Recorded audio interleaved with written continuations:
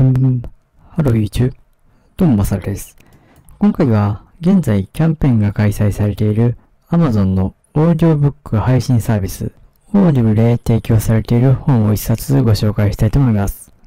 その本が今画面に表示している大富豪が実践しているお金の哲学という本になります。この本で紹介されている内容としては、一般人と小金持ちと大富豪の違い、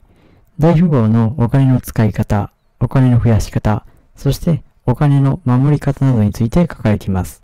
夕食は自炊するよりも外食した方がいいというような大富豪が実践している意外な習慣が紹介されていますので、興味ある方は聞いてみてもいいかと思います。なお、現在 Amazon で開催されている Audible のセールというのは、通常有料の月額料金が無料になるというサービスです。このサービスを利用すると、月額料金が無料になるだけではなく、最初の一冊は無料で利用することができます。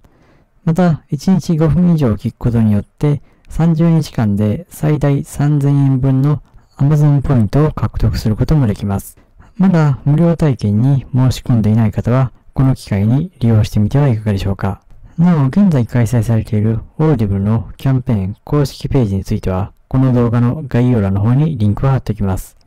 詳細が気になる方はそちらの方からチェックしてみてください。